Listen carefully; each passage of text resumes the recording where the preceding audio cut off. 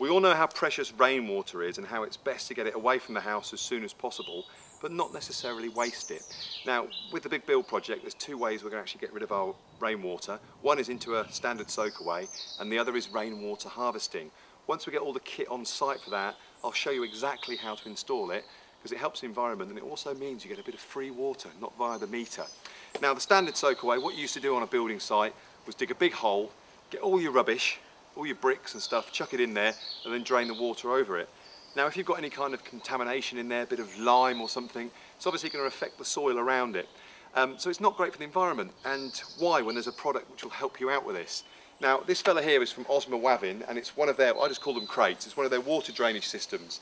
And these just basically click together like a big Lego, like so.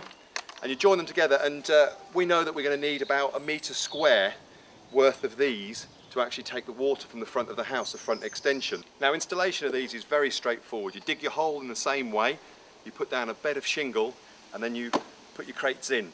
You wrap them in a garden fleece, this is to stop any solids actually getting into the expanse, the open part of the crate. And obviously it lets the water then drain out.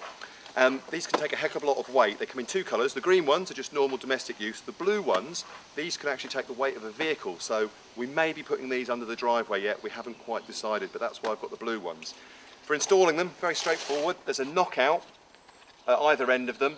So you've got a lot of versatility. You just knock that out and you put your four inch soil pipe, which is obviously one of these, straight into it. So this would then link to the bottom of each gully where all your downpipes come to and take your water safely away into this. Now when it comes to the water storage and the harvesting, there is another bit of kit that works alongside this, but as I said, more about that later. Good thing about these is, it's environmentally friendly, they can take a lot of weight, cheap, very easy to use, you can fit these yourself.